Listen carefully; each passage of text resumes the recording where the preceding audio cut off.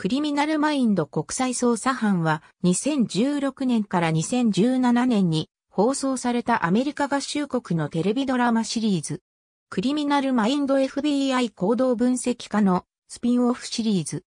オリジナルのクリミナルマインドシリーズやクリミナルマインズ、サスペクトビヘイビアとは異なり、BAU のプロファイラーたちではなく、ジャック・ギャレット率いる FBI の国際対応班のメンバーが主役である。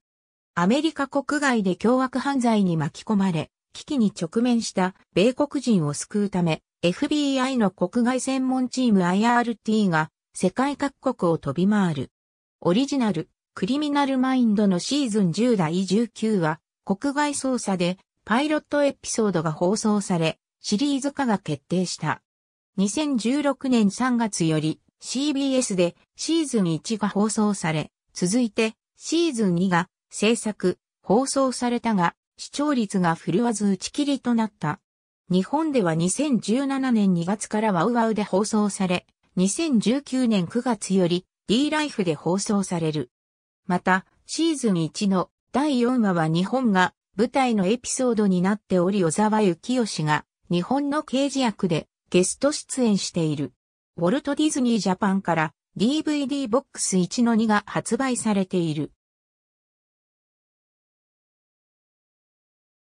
カッコ内は、主な舞台となる地名、バンコクの失踪者、 The Harmful One、ムンバイの巣窟、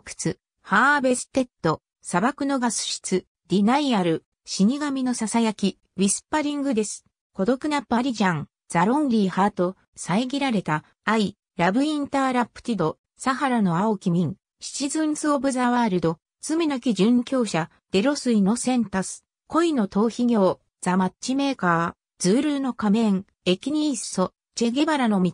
The Ballad of Nick and Nat、闘牛、 El Toro Bravo、ハイチの子守歌、 Paper Orphans、タンザニアの神隠し、 Lost Souls、フィレンツェの怪物、 Il Mostro、悪魔の吐息、 The Devil's Breath、私のように美しく、 Pretty Like Me、メイドインバングラデシュ、 Made in CA 殺人事件、 Cinderella and the Dragon、血の生贄、 La Huesuda、アテネの戦士、 Pankration、ブローバック、 Blowback、台北のシリアルキラー、 Type A、ジャマイカの赤い亡霊、 Obey、ヒマラヤの魔物、 Abominable、道化師の牙、ザリッパーオブリガ。ありがとうございます。